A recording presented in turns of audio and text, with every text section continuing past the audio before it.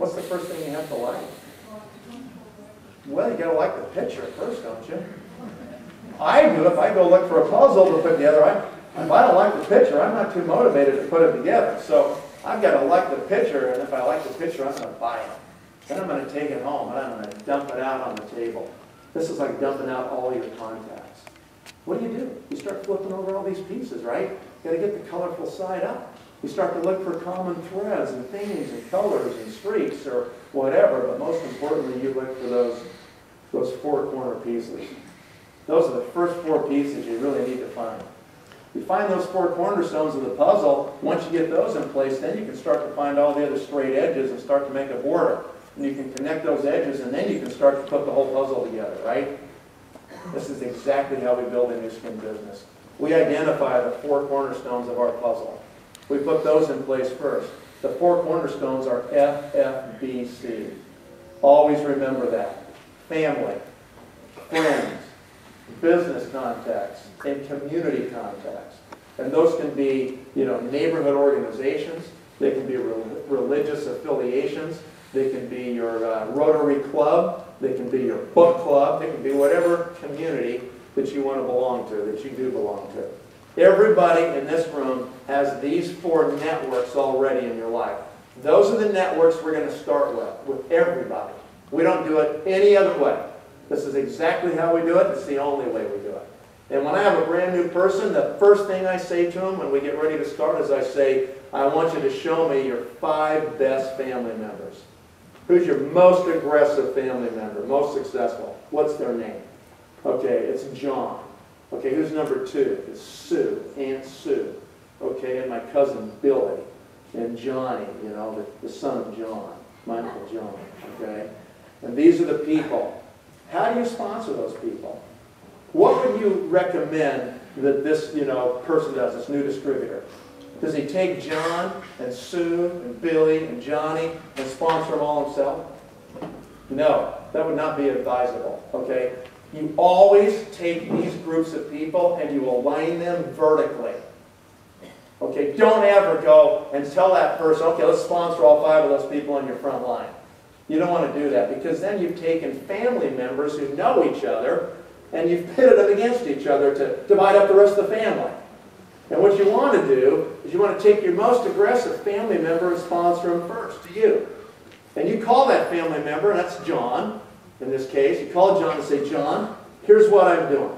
I've got my partner on the phone. This is what we're engaged in. We've got these incredible products phenomenal patents, unbelievable breakthrough. The thing is going to be significant. I'm doing it, okay? I'm going to go after Sue and Johnny and Billy and all these other family members that you know. But if you want to do it first, I'm going to sponsor you and I'll put all the family members under you. Now that gives them a little bit of something to think about, a little bit of a carrot, and a little bit of fear of loss. Because then you say, if you don't want to do it, then I'm going to go directly to those people now. But I'm coming to you first. All right? If they join, you stack those other family members vertically. You take John and the new distributor and yourself, and all three of you start to recruit. You're going to go right down that line, and you're going to stack those people under each other. And when you do that, John will benefit from those other family members, as you promised him. And the person that's on the end, the family member on the end, the third or fourth one down there now, will have the benefit of all the other family members above in their upline that are there to help them and support them. So it goes both directions and everybody wins. Instead of going horizontally and pitting them against each other. Right? Okay. And then you do the same thing. Who's your most aggressive and successful friend? Who is it? Who are your five best buddies? Tell me who they are. Okay, who's number one? We go to them and say, we're going to put all the other buddies under you if you decide you're going to run with us. Okay, you want to party? Let's go. Jump in, let's crank. We're going to put them all underneath you. And we do it with business contacts, we do it with the community contacts. Okay? Our goal in that first month is to get these four lines started. Okay, we want to sponsor a whole bunch. We might have to sponsor 10 or 15 of these people to get our four lines in place. That's okay. But that's what we're going to do. So that's how FFBC works. And can you see that once we get the corners, as soon as we get the family going and the friends going, we start to run those other straight edges and we complete the border, don't we? We kind of start connecting the puzzle. in all of its pieces, and then we spend the next several years putting the whole thing together. And once you put the whole puzzle together, it looks good. You already like the picture you saw, right?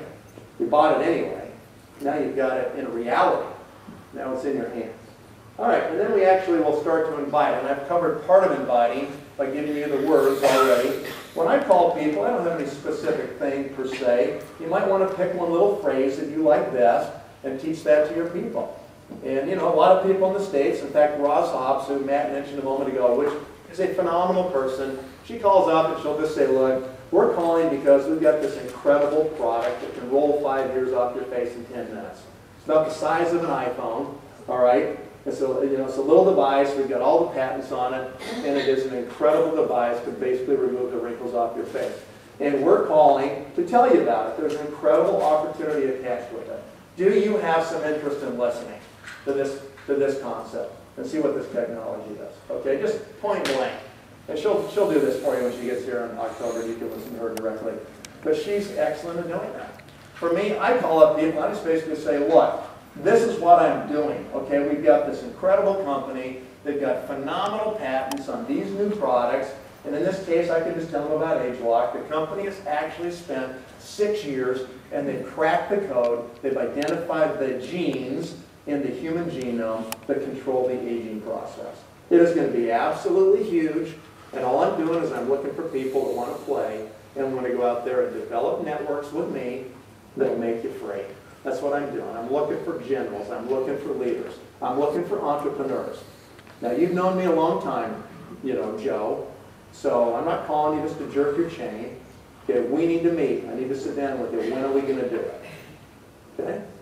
That's as easy as it is, as easy as it can be. All right, so we're going to make the invite. And we really don't care if they say yes or no.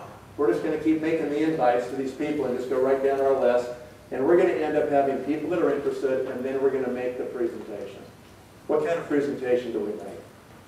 Well, in, in the case of what we're doing right now in the U.S., is once we get to the presentation, there's multiple kinds. If those people are not readily available for us to access them, then we will do it online. We'll say, are you in front of the internet? If you're in front of the internet, go to nsoverview.com and watch the video. And some people will say, I'll stay on the phone while you watch it, and they just listen. Some people will say, I'll call you back in 10 minutes. Go watch the video. If they're close enough to you, it's always better, in my estimation, to sit down and meet with them.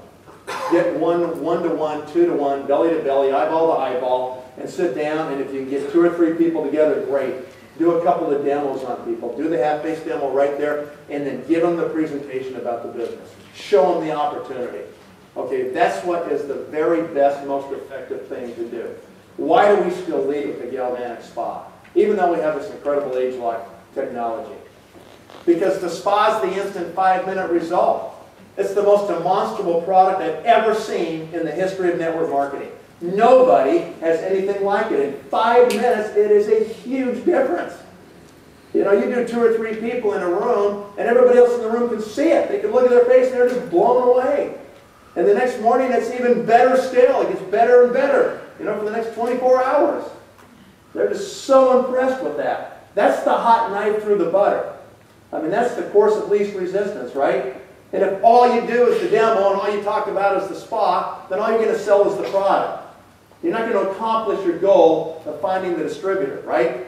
Now, some of you, maybe you don't care. If all you want to do is move product, that's great. We're glad you're here. We want you to be a happy distributor, and maybe all you want to do is sell enough to support your own habit. Okay, that's fine. That's great. If you want to get it done, though, you see the business side of it, then what's your objective? You can only really have one focus in your mind, in my opinion.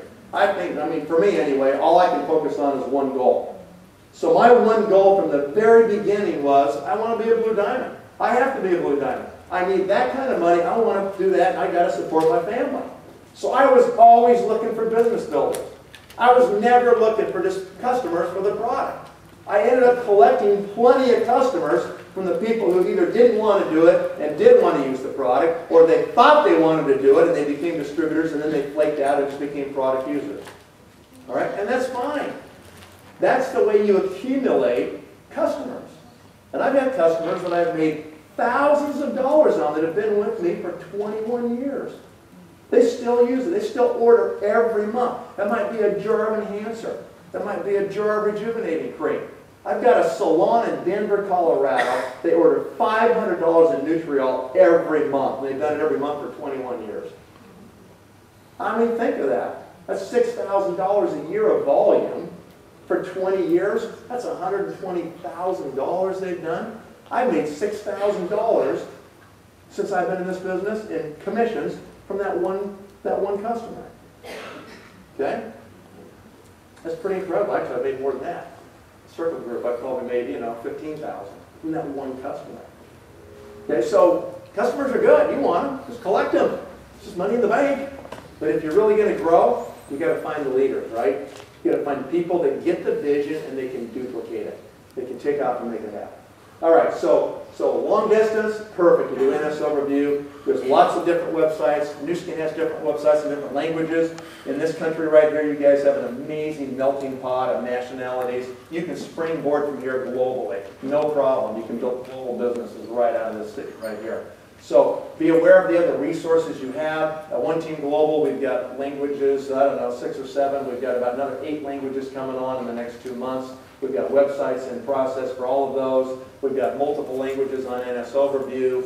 Uh, you know, there's resources that you can use to get information to people in other places. And so that's what you need to do.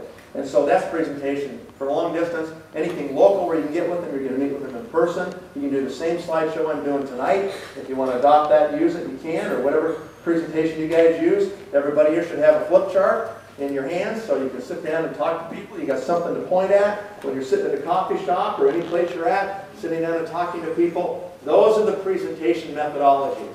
Large meetings like we're doing tonight are really the, the rarity. You know, okay, that, that's not really where it happens. It will happen tonight if you guys have invited enough of your guests.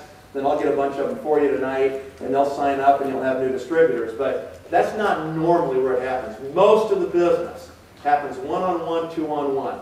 All right, so that's what it is. And you guys have to be in massive action every day. If you want to really knock the ball out of the park here, you got to get after it every single day. All right, after we have presented the business, then we want to sign them up. And sometimes they'll sign up right there, and sometimes it'll be the next day. My experience has been after 21 years of doing this, it's usually a two-step process. It's an exposure, and then it's some other follow-up, a, a three-way conversation, or a sit-down meeting with a, you know, an upline sponsor or partner. Okay, or maybe it's a look at the internet and then come to a meeting like tonight, and then they're ready to go. Typically, I see that it's a, a two-step process. People need two different exposures, two different, you know, people they talk to or people they hear it from, and all of a sudden it validates in their mind, and they decide, all right, I'm going to do it. I'm in, I'm going to take action.